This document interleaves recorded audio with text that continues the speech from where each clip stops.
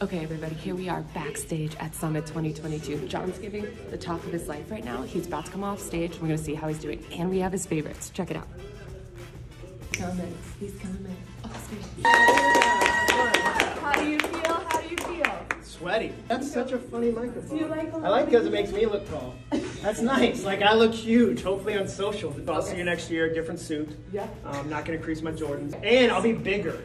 My daughter said to me today, Dad, you need to tighten the sleeves in your suits so that you look more muscular like Craig. I think you mean I need to work out more.